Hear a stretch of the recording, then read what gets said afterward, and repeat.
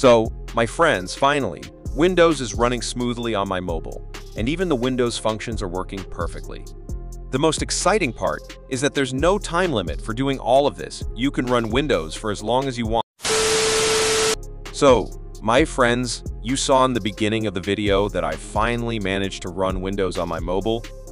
If you want to do the same, watch the video until the end. Enough talk for now, I will show you practically. I'm here on my PC screen. Today, I'm going to turn this PC into a cloud PC and run it on my Android device. You heard it right. To do all of this, you will need a PC. You can use any low-end PC, and if you don't have one, you can borrow a PC from a friend or relative. Just watch this entire video and you will understand what I'm trying to say. First of all, you need to open your browser and search for Chrome Remote Desktop.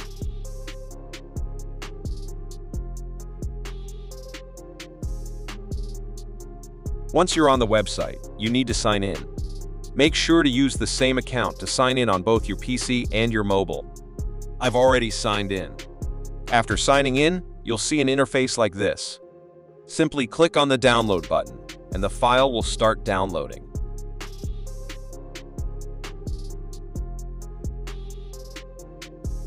Now, click on the Ready to Install button and install the downloaded file.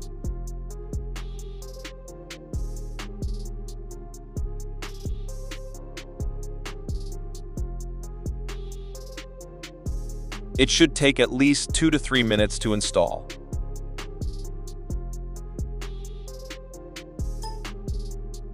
As you can see, the software has been successfully installed. Now, click on Next. This is a crucial step. Here, you need to enter a random PIN code, and you should remember this PIN code because you'll need to enter it on your mobile later.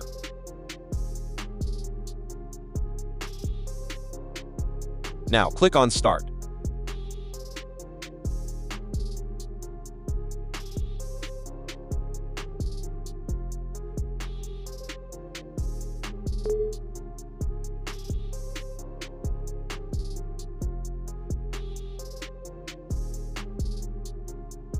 Our work on the PC is done, and the remaining steps will be on your mobile.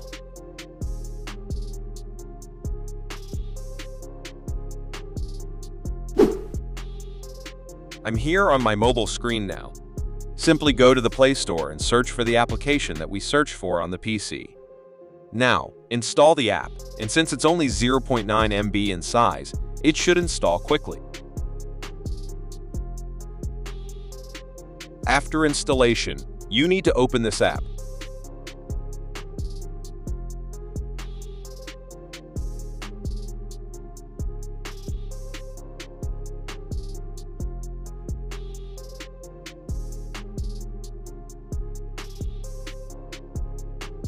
Now, you have to click on this icon.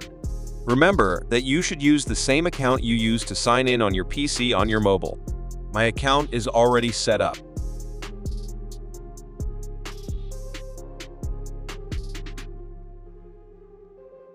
Now you need to enter the PIN code you set.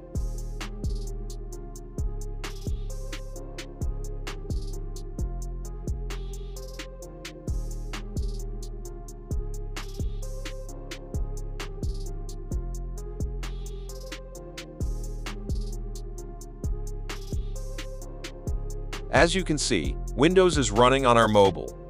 There's a bit of lag because I'm using a screen recorder. Overall, I liked it a lot.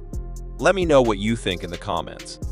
If you're interested in using an Android emulator on a low-end PC, click on the left video, and if you're interested in Android operating systems, click on the right video. I'll see you there.